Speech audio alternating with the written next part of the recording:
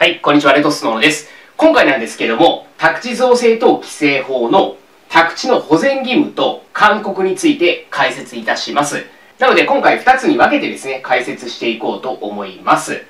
で、まず、保全義務なんですけれども、これについては、宅地造成工事規制区域、この規制区域内の宅地について、宅地造成に伴う災害が生じないように、常時安全な状態に維持するよう努める義務があるんですね。まあ簡単に言えば、宅地造成が終わりました、完了した宅地、まあそれを使っていく中で、擁壁だったりがやっぱり劣化してきたりっていうのもやっぱあるんですよね。何十年経ってくると。そういった時は安全な状態に保つように、まあ、擁壁の工事をもう一回やり直したりとか、まあそういうことやってくださいね。まあこれは努力義務ですよ。この勤める義務っていうのは努力義務って言われるもので、必ずしもそれやらなければいけないっていう義務ではないんですよ。ただ、それをできるだけやってくださいね。努力してくださいね。っていうような義務なんですね。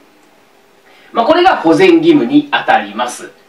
で、まず一つ目のポイントとしては、宅地造成なんですけども、これは規制区域の指定がある前に工事を行ったものについても対象なんですね。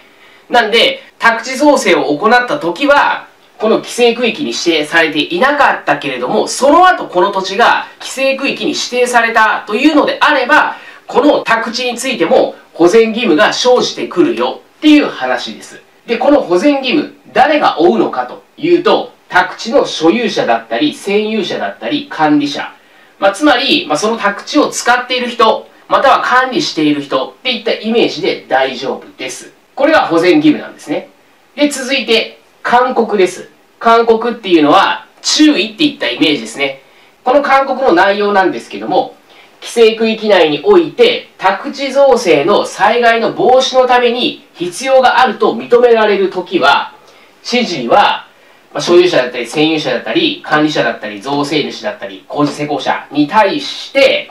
擁壁等を設置してくださいねって勧告することができますよっていう内容なんですね。つまり宅地造成を行ったことで何かしら災害が起きそうだと。これは防止しなきゃいけないでしょ。そういった時は、知事はこれらの人に対して、擁壁を設置してくださいねとか、まあ、いろんなこういったことをやってくださいねっていうふうに勧告をすることができる。まあ、注意をすることができるっていう内容なんですね。これ、誰に対して勧告することができるかっていうと、所有者、占有者、管理者、造成主、工事施工者。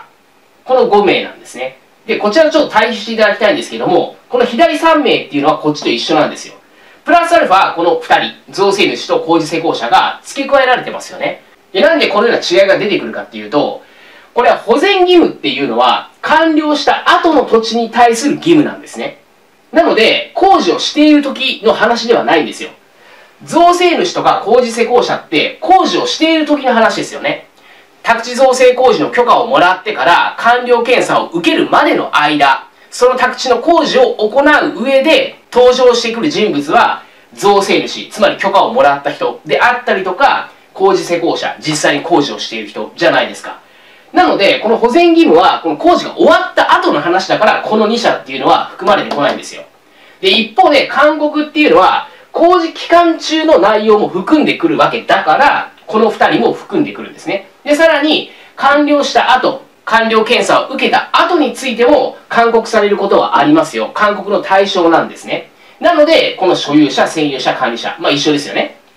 この人たちも勧告の対象になってくるんだ、という話です。つまり、この2つっていうのは、完了後の話なのか、それとも工事期間中、完了後、どっちも含むんだっていう話なのかの違いがあるということなんですね。この点理解しておくと、誰に対して勧告するのか、誰が保全義務を負うのかっていうのは整理しやすいと思います。で、この勧告の対象となる宅地造成については、上でもお伝えをした区域の指定がある前に行った工事についても対象となるので、これは内容的には一緒なんで覚えやすいと思います。まあ、今回保全義務と勧告について解説したんですけども、誰に対して勧告できるのか、また保全義務を負うのは誰なのか、これ意外と覚えるの苦手な方が多いんですね。なので今言ったように完了後の話か工事中も含む話なのか、この違いを頭に入れておくと整理しやすいと思いますので、ぜひ使っていただければと思います。で、このように個別指導では理解をしながら学習するっていうことをコンセプトに行っております。理解学習ができれば、宅建試験1回で合格できる資格なんで、もし次を試験で絶対合格したいっていうのであれば、ぜひ個別指導ご検討いただければと思います。個別指導についてはこの動画の下の概要欄に URL を貼っておきますので、ぜひご確認ください。新たな事故をお待ちしております。宅建合格目指して一緒に頑張っていきましょう